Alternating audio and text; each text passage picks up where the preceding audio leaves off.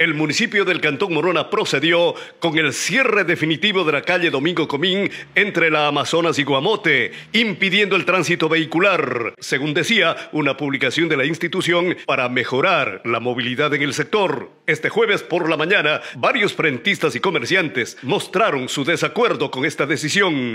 Realmente al llegar hoy en la mañana nos sorprendió que han obstaculizado pues el paso con una, una varilla o no sé cómo llamarlo de hierro donde es imposible el paso de los vehículos.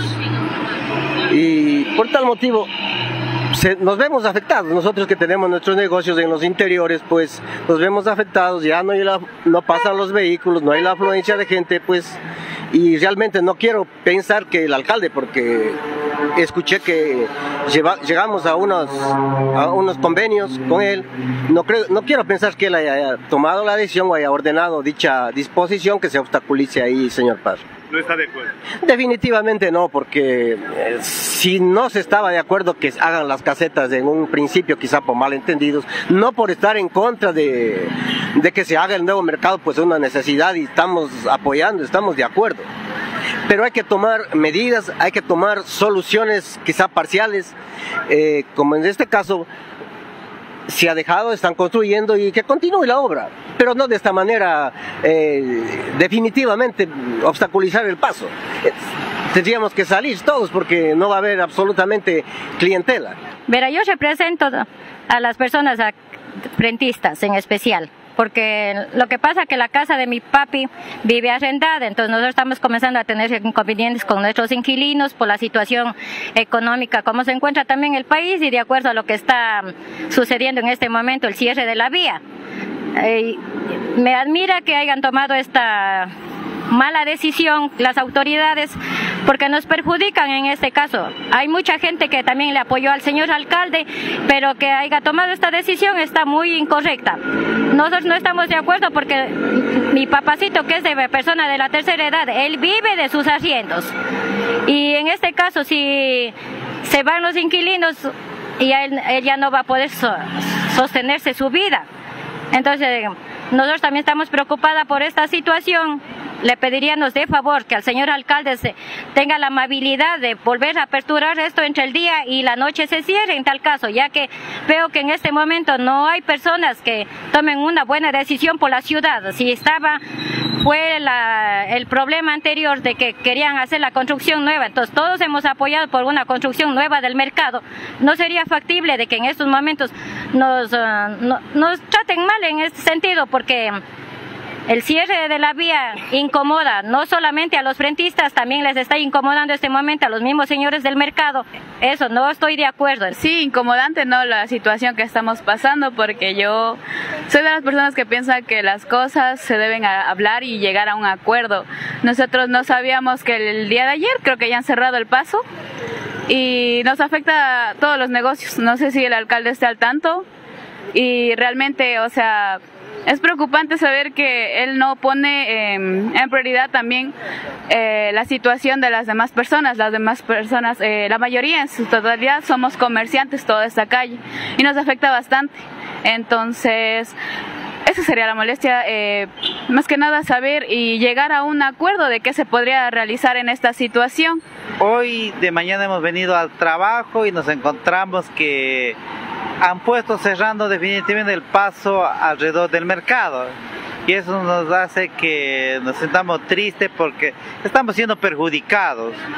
Al comienzo el alcalde anterior quería construir el mercado. Nosotros estamos de acuerdo para que sea un mercado bonito, excelente para la ciudad y para los turistas que vengan a la ciudad de Macas. Pero ahí nos vemos que ahora este alcalde se ha olvidado, se no toma las cuentas, las cosas a lo serio y veo que nos siguen perjudicando más y más y no sabemos a qué término vamos a llegar nosotros porque nosotros estamos muy tristes, todos los que estamos aquí alrededor solo nos están viendo las caras, viendo que ya los carros automáticamente ya no pasan, son los que clientes que se ven llegar, ahora estamos netamente en cero. Entonces por eso quisiéramos decirle al alcalde que tome la cárcel en el asunto y ya trabaje a lo serio, pues ya se acabó la campaña, se acabó la política, ahora él está en la administración y pues si va a construir que lo haga, pues si no, si no va a construir mejor para que diga que nosotros para desarmar las casetas y así se vuelva como era antes y trabajamos lindo, no había ningún inconveniente y ahora estamos así con estas dificultades. Hago un llamado a este alcalde, creo que en esto se convirtió un ciego, sordo y mudo. Realmente soy de las perjudicadas completamente, soy arrendataria de aquí de la tercena, no hay autoridad que tome o se ponga los pantalones. Bien. Nosotros no pagamos 20 dólares de local, que tal vez dicen, ah, que sacamos. No, no son 20 dólares. Pagamos 500 dólares, señor alcalde. Haga conciencia. Somos gentes emprendedoras. Denos la oportunidad. Y si usted dijo que va a continuar con las obras, pues que se lo vea, tome una decisión. Yo tenía entendido que esto se iba a cerrar en la noche, no en el día, pues yo creo que autoridad debe pensar al momento que cierra, nos perjudica todo. Tenemos deudas que pagar, tenemos arriendo, llevar un pan de, a, nuestros hogares. ¿Hasta cuándo, señor alcalde? Ya pues hágase presente, hágase presente aquí con todos. Mire, un vacío total.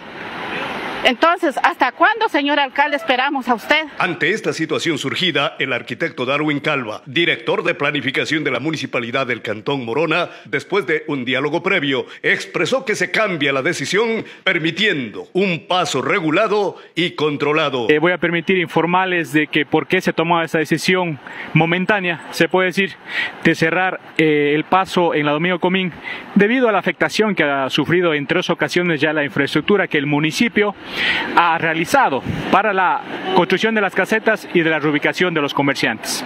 Comentarles de que el día de hoy, después de mediodía, nosotros vamos a establecer un paso controlado, no fijo, porque eh, en la semana que viene tienen ya el conocimiento los comerciantes, vamos a darles el espacio para que puedan adecuar sus casetas. El municipio como responsabilidad tiene precisamente es la estructura y el techo y los comerciantes tienen la obligación de adecuar sus espacios. ¿Qué significa eso? Instalar las paredes, poner puertas, poner ventanas, instalaciones eléctricas para que a partir del mes de octubre, que se les fijó la fecha, empiecen a ubicar las casetas de ubicación. El día de ayer o el día de hoy hicieron esta colocación de esa barra de manera provisional y después de media Dios mediante nosotros vamos a poner una cadena y personal que va a estar a cargo para mantener controlado el paso. ¿Por qué? Porque obviamente nosotros en base a una ordenanza que tenemos, nosotros tenemos regulado el tema del transporte pesado para abastecimiento de los locales. También tenemos el tema de la regulación para abastecimiento de los locales del mercado. Entonces se ha establecido un horario y obviamente tenemos que socializar con los frentistas, tenemos que socializar con los dueños del mercado y todos los locales que están ubicados en la Guamote de Humo Comín con la finalidad de que se pueda cumplir ese horario. La persona que va a estar aquí al frente en los horarios específicos para dar el paso controlado va a ser el guardia municipal y un policía con la finalidad de precisamente ante una eventualidad de que haya algún caso emergente, por ejemplo que ingrese un vehículo de socorro o una ambulancia, se pueda hacer en el horario que lo necesite.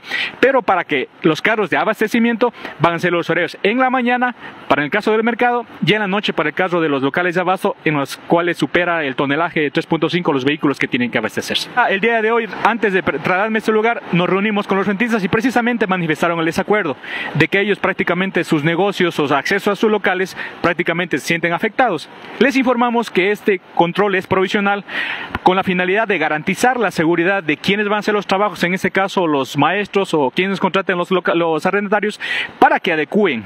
Tenemos el plazo de unas semanas al 30 de septiembre que ellos deben adecuar cada uno de los espacios que están aquí eh, señalados. Miguel Alfonso Parra, exprésate. Morona Santiago.